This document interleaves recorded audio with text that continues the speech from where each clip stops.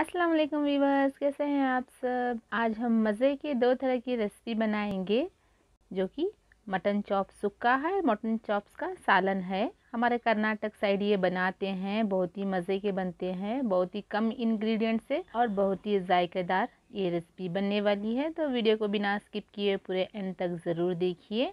तो चलिए mutton chops बनाना शुरू करेंगे। मैंने यहाँ पे 750 ग्राम मटन चॉप्स लिया है, इसे धो के पानी पूरा निथार के लिया है। यहाँ पे एक कुकर लिया है। उसके अंदर 30 एम जितना तेल डाला है, उसके अंदर ये मटन चॉप्स डालूँगी। पौन किलो मटन चॉप्स हैं। बड़े बड़े पीसेस वाले लिए हैं। उसके साथ चर्बी, हड्डी सब कुछ है। अब इसके अंदर नमक डाल दूँगी। नमक आप अपने टेस्ट के हिसाब से डाल दीजिए। मैंने एक चम्मच नमक डाला है। एक टेबल स्पून भर के मसाले की मिर्ची डाली है। ये भी आप अपने टेस्ट के हिसाब से डालिए।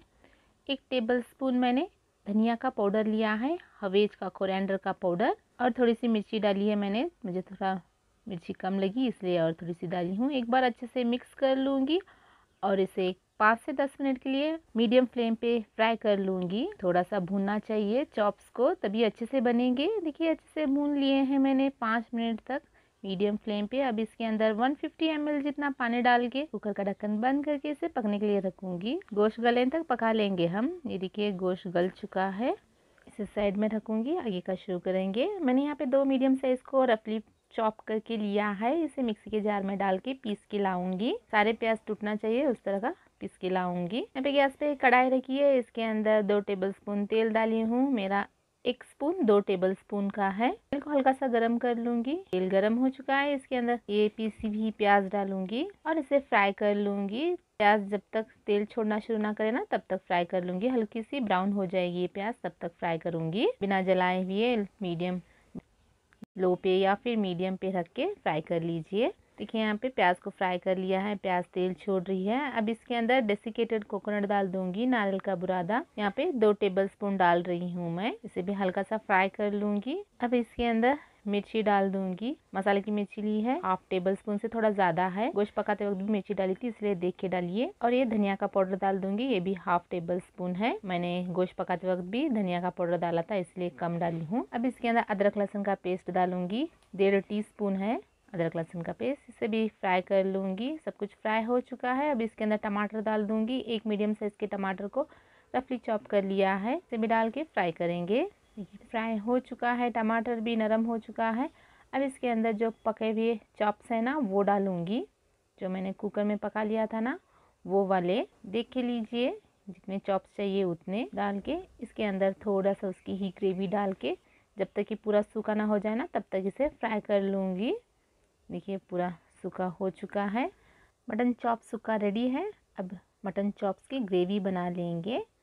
मैंने यहाँ पे मिक्सी का जार लिया है। इसके अंदर एक टेबल स्पून जितना कोथिंबीर डाली है, दो टेबल स्पून जितना नारियल डाला है फ्रेश कोकोनट को चॉप करके लिया है।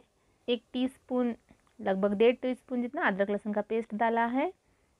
और दो मीडियम साइज़ के टमाटर को लिया है। इसे चॉप करके लिया है ये भी मिक्सी के जार में डाल के पीस के लाऊँगी उसे।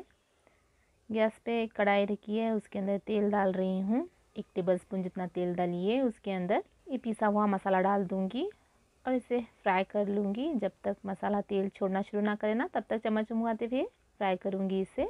नीचे लगने मत दीजिए, अच्छे से फ्राई करते हुए जाइए। ये देखिए, फ्राई हो चुका है, तेल भी छोड़ा है। मैंने तेल ज़्यादा नहीं डाला क्योंकि गोश्त पकाते वक्त भी उसमें तेल डाला था ना, इसीलिए कम डाला है। अब इसके अंदर मिर्ची डाल दूँगी, एक टेबल स्पून जितनी आप अपने टेस्ट के हिसाब से डाल दीजिए। मैंने मसाले की मिर्ची ली है।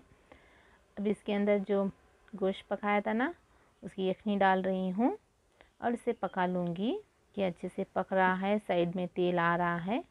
तो अब इसमें चॉप्स डालूँगी और बची हुई सारी ग्रेवी और हाफ़ टी स्पून जितना गरम मसाला है।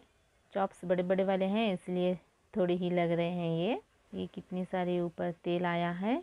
तो लीजिए हमारा मटन चॉप्स का सालन भी रेडी है। अब इसे सर्व करेंगे। मटन चॉप सुक्का और मटन चॉप सालन। आप इसे रोटी के साथ, नान के साथ, चपाती के साथ खा सकते हैं या फिर ऐसे ही खाइए। बहुत ही मज़े के लगते हैं ये। मटन चॉप्स और मटन सुक्का आपको कैसा लगा मुझे ज़रूर कमेंट करके बताइए और इस रेसिपी को आपकी फैमिली फ्रेंड्स के साथ ज़रूर शेयर करिए। तो वो भी लोग इस तरह का बना के खाएँगे। मिलती हूँ एक नेक्स्ट ऐसे ही वीडियो में।